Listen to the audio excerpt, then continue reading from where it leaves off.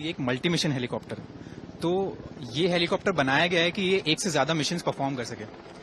इसमें बहुत सी मॉड्यूलरिटी है। हम अलग अलग मिशन के हिसाब से इसे तैयार कर सकते हैं। Anti surface warfare anti submarine warfare search and rescue और हर तरीके के मिशन को ये अंजाम देने में सक्षम है।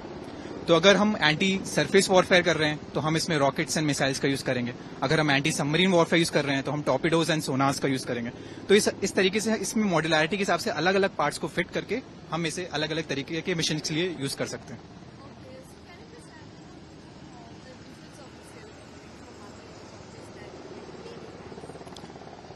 द डिफरेंस इज़ द जो इसकी ताकत है दिस इस वेट कैटेगरी में ये सबसे आधुनिक हेलीकॉप्टर है। इस हेलीकॉप्टर में हम चार टॉर्पिडोज और कई रॉकेट्स और मिसाइल्स यूज़ कर सकते हैं।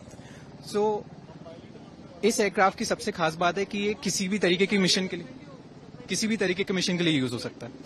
तो यदि हम चाहें तो हम चाहे इसे सतह के ऑपरेशन के लिए या सतह के नीचे वाले ऑपरेशन के लिए भी यूज़ कर सकते हैं। तो सब surface as well as surface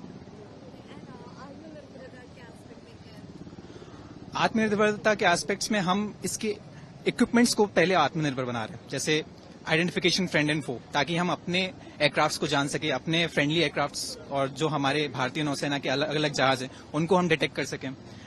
तो इस तरीके के छोटे छोटे इक्विपमेंट्स को पहले हम आत्मनिर्भर बना रहे हैं, जो हम इन हाउस प्रोड्यूस कर रहे हैं। जैसे कि अभी हमने आपके ब्रीफिंग में बताया था कि पेबोटा जो एयरक्राफ्ट के मूवमेंट को शिप में मदद करेगा।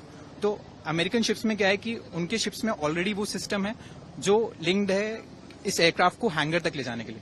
बट हम अपनी शिप्स को उस तरीके से मॉडिफाई नहीं कर सकते। तो हमने उसका एक यहाँ पे खुद एक इंडिजिनियस एस्पेक्ट निकाला है जिसकी मदद से हम खुद ही उस आइटम को यूज़ करके अपने हैंगर्स में रख सकते हैं इन हेलीकॉप्टर्स को। और सबसे खास बात है कि इसके जो रोटर्स एंड टेल्स हैं तो वो फोल्डेबल है।